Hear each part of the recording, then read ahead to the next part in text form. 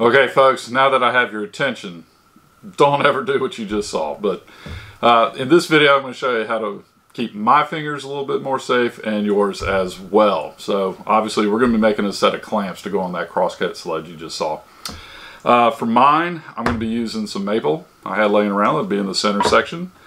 And be putting, I'm going to sandwich that maple in two strips of walnuts. Uh, again, just had these laid around. And I've already uh, milled these up, so you know we don't have to watch that process. As far as those brass knobs you saw in the thumbnail, these are beautiful handmade brass knobs. I'll be telling you about those at the end of the video. And if you want, you can download a set of free plans on my website. So get on over there and check that out. For now, let's get started.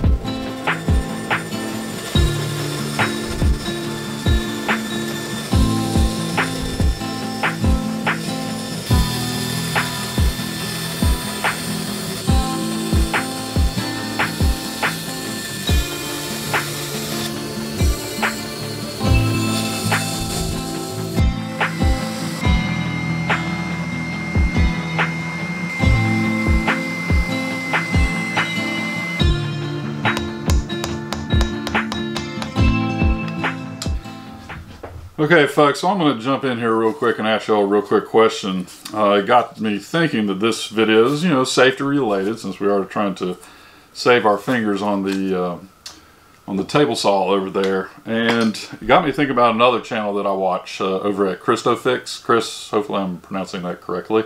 Sorry if I'm not. Uh, but anyway, on his uh, channel, he often asks, asks video, or sorry, excuse me, he asks questions on every video. And uh, one time he, he asked a question about what is the most important tool in your shop? And I got to thinking about it and I answered my question, which by the way, I'll let y'all know uh, what that is at the end of this video. Uh, but I figured I'd ask the same question to y'all. What do y'all think is the most important tool or, or safety equipment, I should say? What's, what's the most important safety equipment you have in your shop? So let me know down below. After I get this done, it's off to the bandsaw again.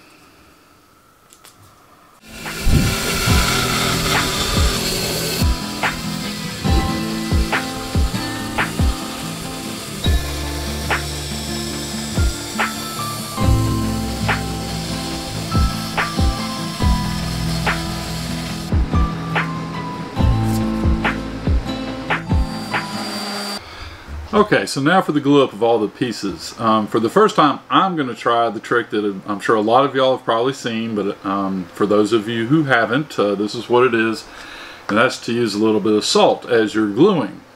Again, first time, I figured I'd give it a try. I have really shaky hands and putting these pieces together can be a little challenge for me, so I need all the little help I can get. So let's go.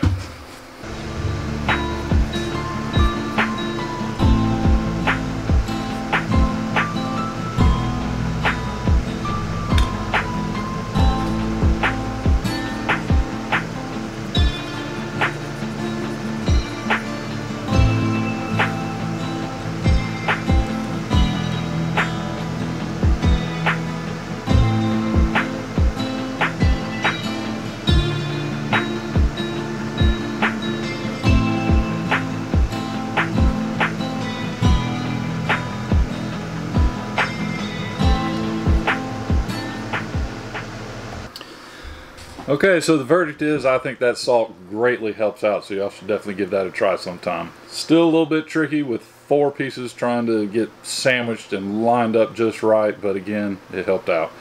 So we're going to let these dry, then come back and get everything sanded up, and then a few other finishing touches, and we'll be good to go.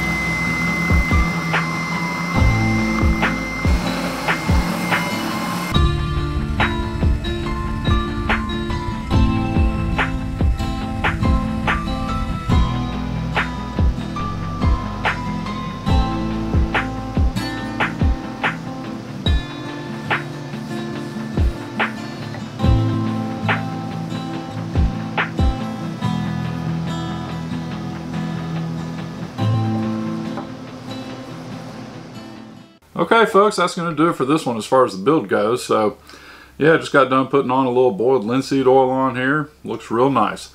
So let's start off with these uh, brass knobs that I pointed out at the beginning of the of the video here.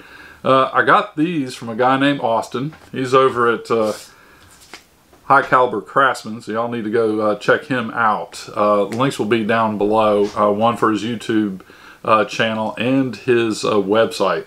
That one, in my opinion, y'all really need to check out. Uh, his primary gig is he makes uh, handwriting pens out of spent shell casings. I'll probably throw some pictures as we're talking here, at least a couple. Uh, they look truly awesome. Uh, awesome. I haven't bought one yet, but I promise I, I, do plan on it. I've seen a couple on there I really like. So, anywho, uh, you know, along with uh, making pens, he's a great machinist. So he, he gathered up some brass for me, and again, uh, made a couple of knobs. I just I thought it'd be pretty cool for these clamps. So that uh, pretty much explains that. Um, and then on to the question that I asked uh, earlier in the video. Uh, my answer for pretty much the most important tool or safety equipment in the shop is the brain. Yeah, as cheesy as that sound, uh, that that's my opinion. You know, if you're not using your brain and looking out for what you're doing, uh, you know, as we're all working in these shops around dangerous equipment, uh, you know, you you can unfortunately get injured. I'm I'm sure a lot of y'all have out there. So again, just look out for what you're doing. so anywho, uh, we're going to go ahead and uh, leave it off from there, and I'll leave you off with some uh, closing shots of these clamps in action. Appreciate it, and we'll catch y'all in the next video. Thanks. Bye-bye.